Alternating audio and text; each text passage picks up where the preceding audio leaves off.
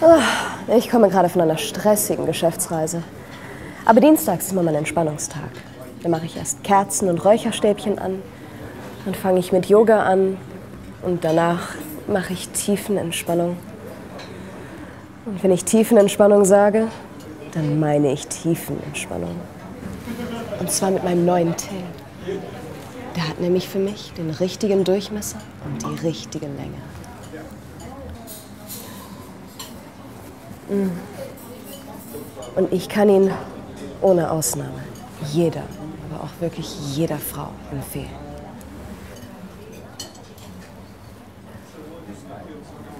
Nur noch die Inhalte, die zu dir passen. Start ins Internet mit wisedog.com.